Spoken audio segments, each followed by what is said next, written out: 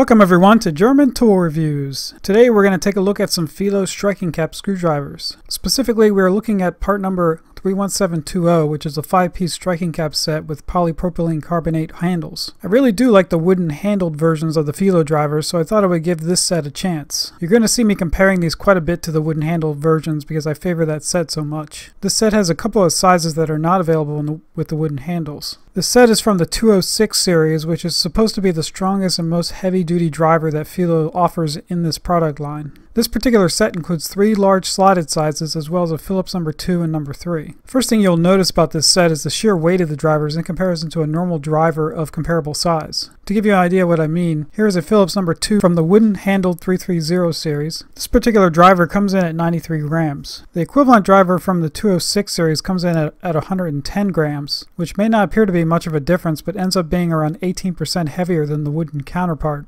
Looking at the main features of this series, you will notice quite a few differences between the wooden handled drivers. The first being the bolster nut on the screwdriver that allows a spanner to be used to gain more torque. The nut on the 206 series is black phosphated and is not created as one piece along with the shaft like it is done on the wooden handled version. Instead, a hexagonal shaft is used and the nut is slipped on during one of the production steps. This nut will be either a 10mm or 13mm depending on the size of the driver. These bolster nuts do come in handy, especially when you need to turn a large slotted screw that has been rusted in place. The handle of the driver is made from a polypropylene carbonate, better known as PPC, which is quite an interesting choice for a screwdriver handle. With it being polypropylene, it is resistant to nearly all solvents out there, but stay away from chlorinated brake cleaner that contains tetrachloroethylene which will cause a severe reaction with this material. I also wouldn't suggest using this around any type of hydraulic oil, as it will soften this particular plastic. The interesting thing about this material is that it's not a super hard plastic and it provides a moderately nice gripping surface as is. The steel striking cap on the end is also black phosphated and provides a very large target to transfer that energy from a hammer blow. I did check with a magnet to make sure that the shaft extended all the way to the striking cap and it does. Judging from the weight of these drivers, I would surmise that the hex shaft remains the same size all the way to the striking cap. For those that aren't familiar with a striking cap driver,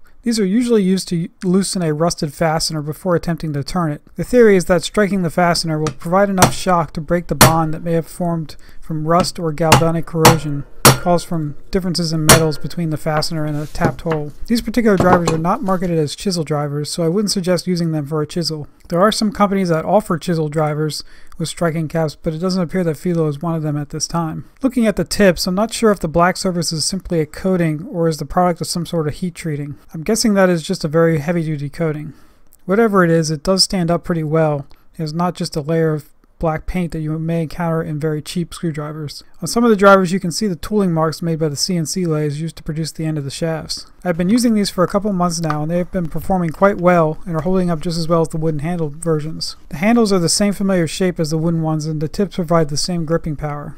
I have gotten these quite greasy from a couple of teardowns, some of which you have already seen. I always clean the drivers using Ballistol afterwards, and as a result it looks like the silk screening on the handle has either started or completely worn off, depending on the frequency of use. On the Phillips number 2, you can see that there are no markings left whatsoever. Luckily, there's a small Felo logo embossed at the base of the handle so you can still identify it as a Felo if need be. I'm not sure if it was just the general use or the Ballistol that caused the text to wear off, but I have the feeling it is a combination of both. But overall, they're holding up quite well considering I've been using them almost exclusively for a couple of months now. These are definitely some heavy duty drivers. Well, hopefully you enjoyed that look at Felo's 206 series striking cap screwdrivers. Check out the link in the description to the full review. The KC Tool and Amazon affiliate links to these products are also in the description if you feel the urge to pick a set up. Don't forget to like, comment, and subscribe, and I'll catch you guys next time.